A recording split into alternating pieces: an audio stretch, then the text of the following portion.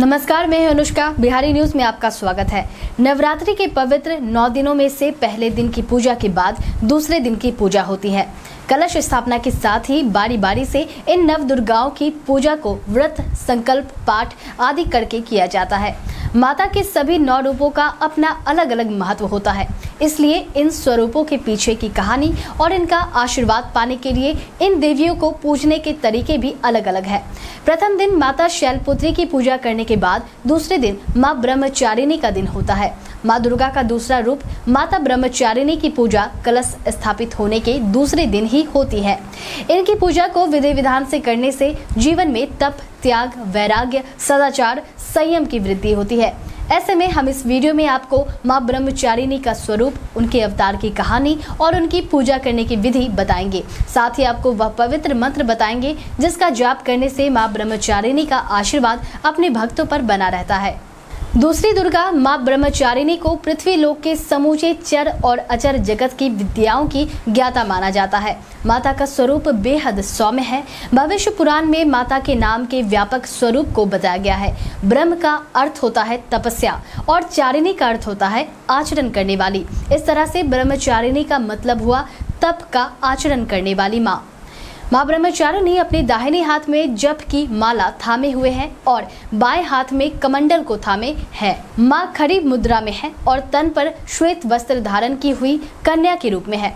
ऐसा कहा जाता है कि माँ ब्रह्मचारिणी ने भगवान शिव को अपने पति के रूप में प्राप्त करने के लिए हज़ारों सालों तक बेलपत्र और फिर निर्जल और निराहार रहकर तपस्या की थी, जिसके कारण से उन्हें ब्रह्मचारिणी कहा गया। दुर्गा का यह स्वरूप ज्ञान और निगम, आगम, तंत्र, मंत्र आदि से संयुक्त है। यह अपने भक्तों को अपनी सर्वज्ञ संपन्न विद्या देकर विजयी बनाती है। माँ ब्रह्मचारिणी का रूप बहुत ही सादा और तेज से भरा है।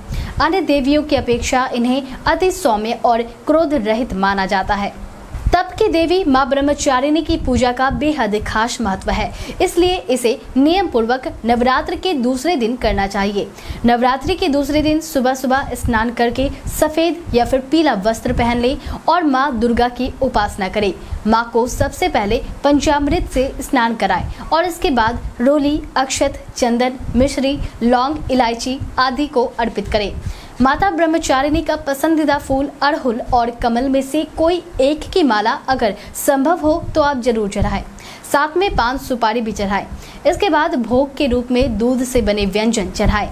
इसके बाद घी व कपूर से दिए लेकर देवी माँ की आरती उतारे। इसके बाद दुर्गा चालीसा, दुर्गा मंत्र और दुर्गा सप्तशती का पाठ करें।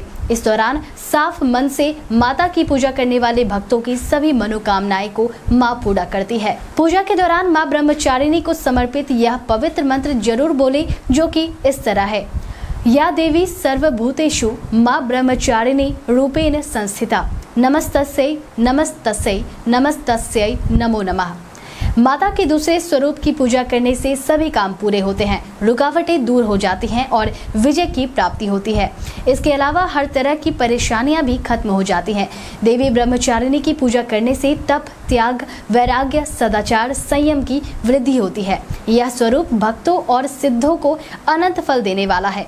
माता की पूजा करने वाला जीवन के कठिन संघर्षों में भी अपने कर्तव्य पथ से विचलित नहीं होता है। इस दिन साधक कुंडलिनी शक्ति को जागृत करने के लिए भी साधना करते हैं, जिससे उनका जीवन सफल हो सके और अपने सामने आने वाले किसी भी प्रकार की बाधा का सामना आसानी से कर सके।